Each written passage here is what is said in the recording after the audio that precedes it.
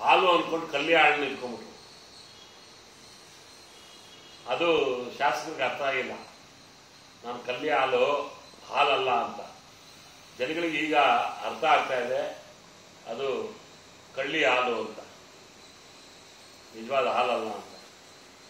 ಆದ ಕಾರಣ ಈ ದರ್ಪ, ಈ ದೌರ್ಜನ್ಯ ಎಲ್ಲ ಈ ದೇವನಹಳ್ಳಿ ತಾಲೂಕು ಭಾಳ ಆಚೆ ಹೊಸಕೋಟೆ ಕಡೆ ಇಟ್ಕೊಬೇಕು ಇಲ್ಲೆಲ್ಲ ಇವ್ಯಾವೂ ನಡೆಯಲ್ಲ. ಈಗಾಗಲೇ ಸರ್ವಸಾಮಾನ್ಯ ಜನರು ನೋಡ್ತಾ ಇದ್ದಾರೆ.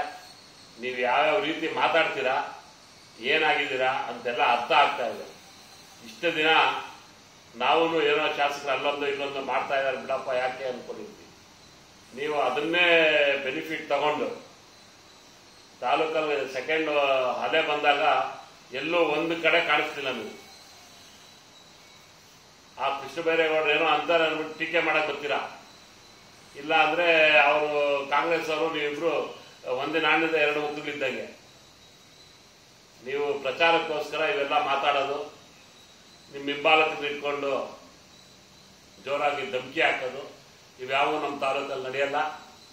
ನಮ್ಮ ತಾಲೂಕು ಜನ ಪದೇ ಪದೇ ಮೋಸ ಹೋಗೋಕೆ ನಮ್ಮ ತಾಲೂಕು ಜನ ಇವರಲ್ಲ, ಮೂಡ್ರಲ್ಲ. ತಾಲೂಕು ಜನಕ್ಕೆ ಅರ್ಥ ಆಗಿದೆ. ಅದರಲ್ಲೂ ಎಕ್ಸ್ಪೆಷಲಿ ಜೆ ಅಲ್ಲಿ ಇರುವಂತ ಮುಖಂಡರಿಗೆ ಅರ್ಥ ಆಗ್ತದೆ ನಾನು ಹೋದ್ ಸಾರಿ ಪ್ರೆಸ್ ಮಾಡಿದ್ದಾಗ ಹೇಳಿದ್ರು, ಕಾಣದೆ ಕಾಣದಂತೆ ಮಾಯವಾದರು ಎಂ ಎಲ್ ಎ ಅಂದಾಗ, ಏ, ನಮ್ಮ ಎಂ ಎಲ್ ಎ ಹಂಗಂದ, ನಾಗೇಶ್, ಹಿಂಗಂದ ಎಂ ಎಲ್ ಎ ಎಲೆಕ್ಷನ್ ಟೈಮಲ್ಲಿ ಓಡೋದ? ಅಂತ ಓಡೋಗಿಲ್ಲ. ನಾನು ನಿಮ್ಮ ತರ ದುಡ್ಡು ಹಂಚಕ್ಕೆ ಹಂಚೋದಕ್ಕೆ ಇಷ್ಟಪಡಲ್ಲ. ಆದ್ರೆ ನಾನು ಇಲ್ಲೇ ಇದ್ದೆ. ಇವತ್ತು ಅದೇ ಸೀನಣ್ಣವ್ರು ಇರ್ಬೋದು ಮುನೇಗೌಡರು ಇರ್ಬೋದು, ನಮ್ಮ ಅವರು ಸ್ವಾಭಿಮಾನಕ್ಕೆ ಧಕ್ಕೆ ಬಂದಿದೆ.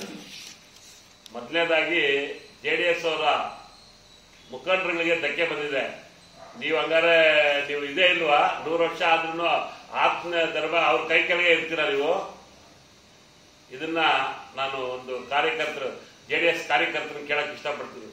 ಅವ್ರ ಕೈ ಕೆಳಗೆ ಇರಬೇಕು ಅನ್ನೋಂಗಿದ್ರೆ ಇರಿ. ನೀವು ಬೇಕಾದ್ರೆ ಗುಲಾಮರಾಗ್ರಿ. ನಮ್ಮ ಬೇರೆ ತಾಲೂಕಿನ ಯಾವುದೇ ಜ ಸಮ, ಜನಸಾಮಾನ್ಯರು ಗುಲಾಮರಾಗ ಬಿಡಬೇಡ್ರಿ ನೀವು